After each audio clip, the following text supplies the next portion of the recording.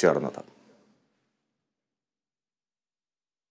അതിരപ്പള്ളി വെറ്റിലപ്പാറ ഏഴാറ്റുമുഖത്ത് അവശനിലയിൽ കണ്ടെത്തിയ കാട്ടാന കാട് കയറി ശരീരോഷ്മാവ് നിയന്ത്രിക്കുന്നതിനായി വെള്ളം കുടിപ്പിക്കാൻ ആനയെ സമീപത്തെ പുഴയിലേക്ക് ഓടിക്കാനുള്ള വനംവകുപ്പിന്റെ നീക്കം വിജയം കണ്ടില്ല. മരുന്ന് കൊടുക്കാനുള്ള നീക്കവും പരാജയപ്പെട്ടിരുന്നു. വനംവകുപ്പ് ഉദ്യോഗസ്ഥർ ഓടിച്ചതോടെ ആന കാട് കയറുകയായിരുന്നു. മരുന്ന് നൽകിയതിന് മുന്നോടിയായി ശർക്കര ഇട്ടുകൊടുത്തെങ്കിലും ആന കഴിച്ചില്ല.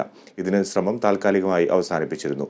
ആനയുടെ ആരോഗ്യസ്ഥിതി നിലവിൽ തൃപ്തികരമാണെന്ന് മെഡിക്കൽ സംഘം അറിയിച്ചു.